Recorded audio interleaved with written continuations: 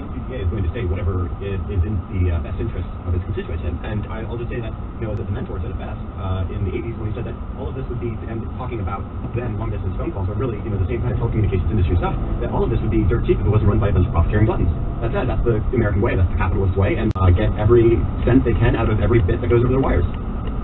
I asked, is there any hope for